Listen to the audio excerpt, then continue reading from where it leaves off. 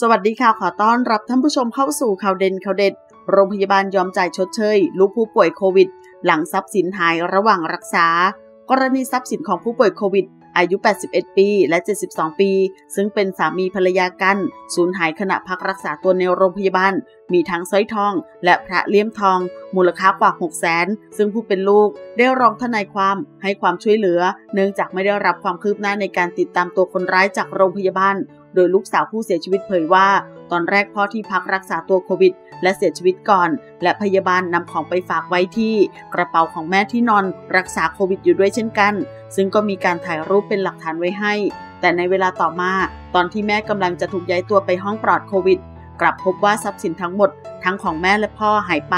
ทำให้แม่เครียด จนอาการสุดและเสียชีวิตตามไปนั้น ล่าสุดนางสาวตา ลูกสาวผู้เสียชีวิต เดินทางไปยังสอนอปากเกร็ด พร้อมด้วยนายเกียรติคุณ ต้นยาง ประธานชมรมทนายจิตอาสา เพื่อเจรจากับนาย สุพล คงสัจจวิวัฒตัวแทนจากโรงพยาบาลคู่กรณี และได้ข้อสรุปว่าทางโรงพยาบาลจะจ่ายเงินชดเชยเต็มจำนวนคือ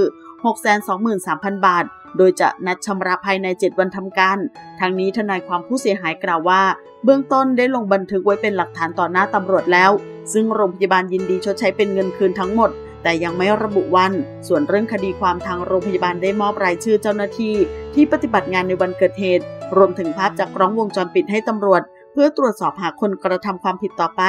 อย่างไรก็ตามหนุ่มกัญชัยผู้ดำเนินรายการ เปิดเผยข้อมูลเบื้องต้นจากภาพกล้องวงจรปิด พบว่ามีเจ้าหน้าที่ที่ใส่ชุด PPE เดินเข้าออกในห้อง จึงทำให้ไม่รู้ว่าผู้ก่อเหตุเป็นใคร